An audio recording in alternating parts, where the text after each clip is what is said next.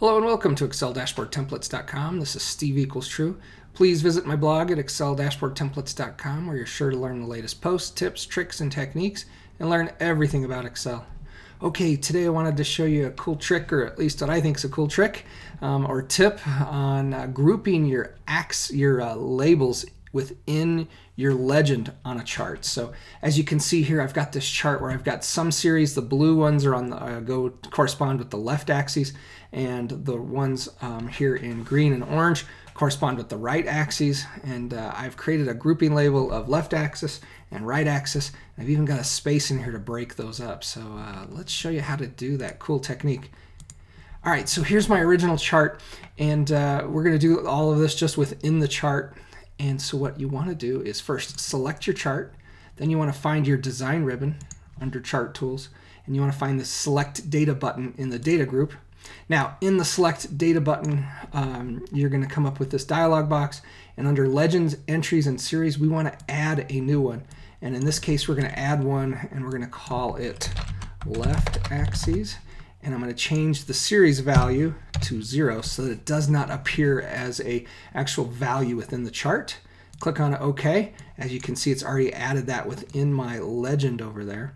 And now I'm going to go ahead and, and add another one, and we're going to add right axis, and we're going to uh, give this a value of zero as well. And finally, I'm going to add another one and in this case, I'm just going to add a space bar. So the only text that's going to show is a space, which will show nothing. I'm going to change that value to zero so it doesn't show up in my data as well. Okay, so now we have um, the groupings. We've got that blank, the right axis, and the left axis.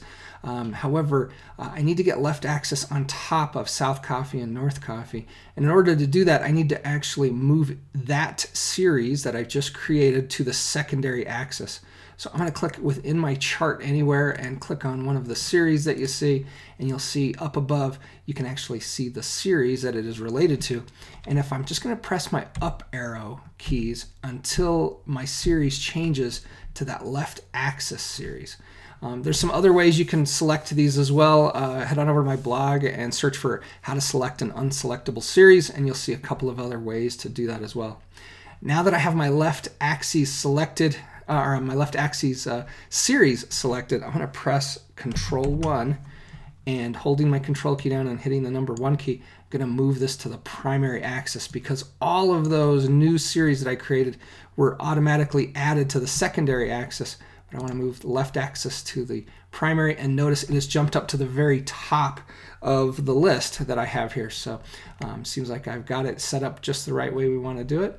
I'm going to go ahead and now I'm going to also, I want to change and get rid of that gray value that you see in that left axis by going to the fill menu and clicking on no fill. Let's click on close and uh, you can see we're getting our grouping to work the way we want. Now I'm going to select this another series again. I'm going to press my up arrow key, down arrow key until I get to that right axis series.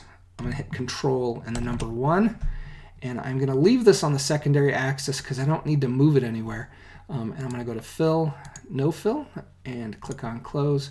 Once again, we're going to do the same thing. Select a series within your chart until you get to that blank or space series.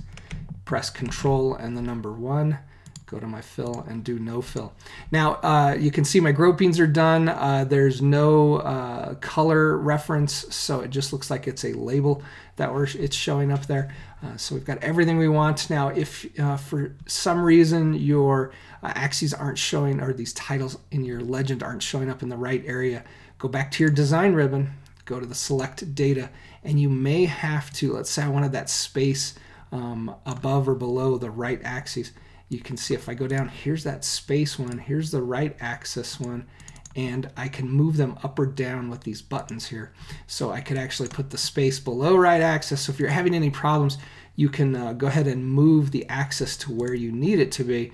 Um, in my case, it just worked out perfectly because of how the, my data was set up that it was able to uh, um, get completed. So hopefully you found this tip and trick uh, really cool and you might use it to group some of the values in your legends uh, so that people can easily say, oh, the left axis uh, or these colors are um, a certain region or what have you. Um, so perhaps you can save some ink when you print out your charts. Once again, this is Steve Equals True. Head on over to my blog and find some other great tutorials Also, consider subscribing to my video channel so you're sure to get the next post delivered directly to your inbox. Thank you.